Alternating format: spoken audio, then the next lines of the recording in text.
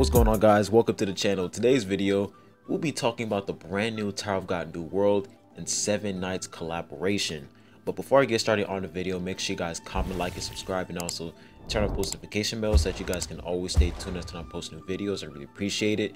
And if you guys are new here on the channel, I have a Discord server, so if you have any questions regarding Reverse 1999, Tower of God New World, and various other games like Honkai Star Rail, you can join my Discord server by going to my channel description. You see the server link there and I'll also post a server link in the comment section down below. But anyways, let's not waste any time. Let's hop right into the video. So, as you guys may know, we have been waiting for the collaboration announcement for ever, and they finally revealed the characters for the collaboration. So we're basically going to have three characters in this collaboration. We're going to have a character called Shanae, we're also going to have Yeon Hee, and we're also going to have Rachel. Now, I might have said their name wrong. Please correct me in the comment section, but we're basically going to have three characters in this collaboration. So for the first character, we're going to check out Rachel. Now, it is not the Rachel that is in Tower, like in Tower of God New World. It is not the Rachel that we know. It's basically the Rachel in Seven Knights. Like all three of these characters are from Seven Knights. I never played the game personally, but this collaboration I'm excited about it. Because the fact that we're getting three characters, that's really, really solid. So let's go and see what Rachel can do. So, by the way, they're all green elements. Like she's, Rachel's green. This character is also green. They're literally all green. So the green element is going to absolutely go crazy for this update. So let's go ahead and check out Rachel's gameplay. Ahead, mute this. Let's see what we got here. So that's her gameplay. So she's going to be a spear bearer unit. Okay. Now let's see her attack. So she uses her guns. All right. So auto attack, Rachel basic attack. So her basic attack, she just basically uses a gun. And then for her passive skill is Crystal of Immortality. And basically for her passive is going to be green element resistance decrease, critical hit rate increase, and Phoenix Blaze. Interesting. So her passive is I'm guessing her passive is going to reduce the enemy's green element res resistance and she's also going to increase crit rate. So can she can she increase everybody's crit crit rate because we know Hwaryun. Hwaryun she can basically increase your crit rate if you attack the enemy that has the mark. So I wonder how she's going to increase crit rate. Is it going to be just for herself or is it going to be for everybody? And the fact that it has like a fire symbol that's going to be interesting. So that's pretty much her passive skill. And there's a thing called Phoenix Blaze. Wait, hold up. I, I saw a mark. Wait. So that's literally her passive skill. Wait, let's go back again. Okay, did you guys see that mark? Let's let's do it again. Look at that. So yes, she's basically going to place a mark on an enemy. So I'm guessing she's going to be kind of similar to Hwaryun, you know, when Hwaryun, she places a mark on an enemy, and if you attack that enemy, you get a crit hit increase, and you also get an attack increase. So I'm pretty sure if you hit this enemy with the mark, you're going to receive that crit hit rate increase. I'm not 100% sure, but I'm guessing that's where we're going because we can see that mark right there. So that's her passive skill. And if her active skill is going to be like a huge AoE attack, it has crit hit rate increase, it has continuous attack, and it also has stun. Okay. And an active skill 2, Flames of Regeneration. So let's go back. Swiftness and attack speed decrease immunity, status effect immunity, and AoE recovery. Interesting. So for her active skill 2 is basically the opposite of Hwaryun. Hwaryun, when she uses her active, like when she uses that little pathway thing, she increases swiftness and she also increases, I'm pretty sure, yeah, she increases swiftness and yeah i'm pretty yeah she just increases swiftness and i think she increases attack i forgot but this is the complete opposite of Hwaryun's active skill which is interesting and she also has status effect immunity and she has aoe recovery so she basically has healing involved in her kit. Now is it going to be self-healing or is she going to provide healing to like the whole team who's in inside her active skill? So that's her active skill too and then for her special skill yo her special skill looks amazing is going to be Phoenix, and then it's going to be AoE attacks and a crit specialist. So looking at her whole kit, it seems like she's going to be a DPS character. So that's what her ultimate looks like. Let's go and check the animation out. Yo, doesn't she kind of... She looks like the the conductor Pom Pom in Honkai Star Rail.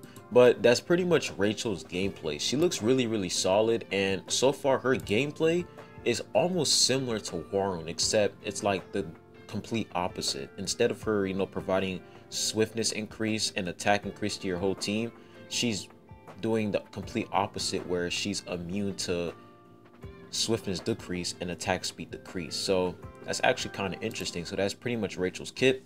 Now for the next character, we have Shanae. Let's go ahead and check her out. So let's go and restart this. She's also going to be a green element character. She's going to be a scout. So I'm pretty sure Vespa was a scout as well. Yeah, I'm pretty sure Vespa was a scout. So she's probably going to be like a tank unit. Let's see.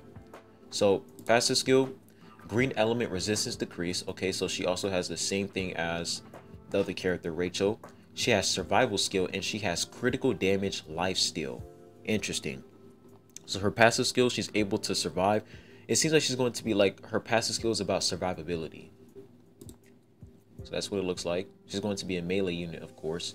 And for her active skill, she does pull, airborne, movement speed decrease. So she can decrease the enemy's movement speed. She can pull the enemy and she has something called airborne. I'm pretty sure airborne is probably like you put the enemy up in the sky. I don't know. Basically stunning them, probably. Yeah, basically she can stun them okay? And an active skill 2, enemy pierce, bathe in your cries cooldown decrease. Wait, so... Oh, she basically decreases the cooldown of her active skill 1 when she procs her active skill 2. Okay. So, enemy pierce and decrease cooldown. And then for her special skill, she has AoE attacks, critical hit rate increase, and temporary invincibility. So for her special skill, she can be invincible for a short amount of time she has AoE attacks and she also has crit hit rate increase. So looking at her kit, it seems like she's going to be a warrior unit because she's going to be melee. She has survivability in her passive skill. She's definitely going to be a warrior unit for sure. And this is her ultimate. Looks really, really nice. Alright, so that is Shanae really solid so far. Um, looking at these characters, it seems like this character is probably going to be mage or probably going to be mage or a range unit, and Shanae is definitely going to be a warrior unit. Like she's complete. Like yeah, like looking at her kit, she's definitely going to be a warrior unit for sure. Now for the last character, we have Yeon Hee. I don't know how to say her name. I'm just gonna say Yeon. It seems like she's going to be some type of catalyst user she looks really, really solid. Like her character design looks really, really dope. So let's go ahead and check her gameplay. All right. So she's going to be a wave controller. Okay. So passive skill, lucid dreaming crystals, AoE basic attacks, survival skill, and green element resistance decrease. All right.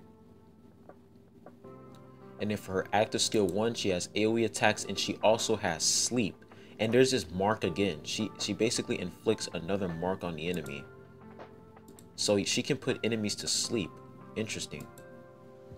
And for her active skill 2, she has enemy pierce, push, and green element crystal apl application. So she applies a green element crystal. Now we don't know what that I don't know what that can do right now. There's like not enough details, but she can definitely place like some type of mark on the enemy.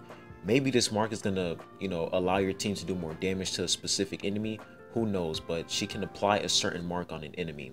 And she also has enemy pierce and then she also has push. So the other character that we just watched her trailer, her gameplay, she was able to do pull. So she's able to do the complete opposite. She could push the enemy away, basically stunning them for a short amount of time. So that's what it looks like. Basically stunning them. And then for her special skill, she just summons a whole nuclear bomb. AoE attacks, magic resistance decrease, and dream call cooldown reset. So if we go back, it said dream call cooldown. I'm pretty sure that's her active skill 1, yeah. So she can basically decrease the cooldown uh, of her active skill 1. That's pretty much her ultimate. So magic resistance decrease and dream call cooldown reset. And this is going to be her ultimate. Ooh, her ultimate looks really, really nice.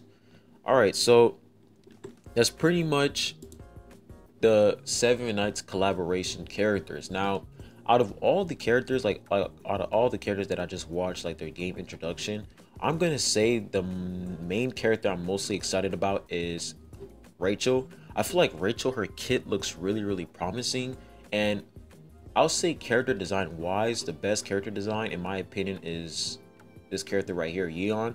I think her character design is really, really cool.